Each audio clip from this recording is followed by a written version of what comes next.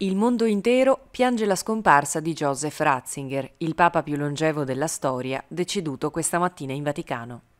Benedetto XVI nacque il 16 aprile 1927, entrò in seminario quando era ancora giovanissimo e diventò sacerdote nel 1951.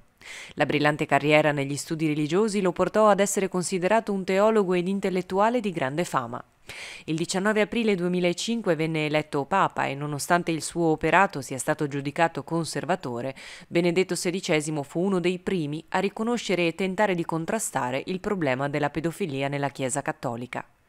Nel 2013 Ratzinger comunicò le sue intenzioni di rinunciare alla carica, una decisione le cui motivazioni non sono ancora state chiarite del tutto.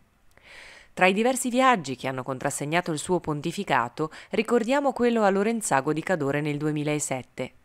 L'aria di montagna, aveva dichiarato, mi farà bene e potrò dedicarmi più liberamente alla riflessione e alla preghiera.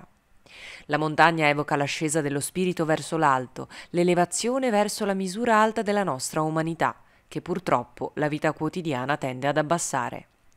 Tutto il Cadore lo accolse con le bandiere bianche e gialle del Vaticano e una gigantografia di Papa Ratzinger accanto a Papa Voitila, che in precedenza aveva soggiornato a Lorenzago già diverse volte.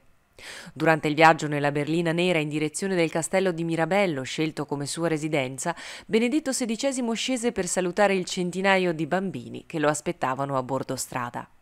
Tra le poche uscite che il Papa si concesse, vi fu anche l'Angelus nella piazza del paese, dove incontrò i Cadorini e i Bellunesi.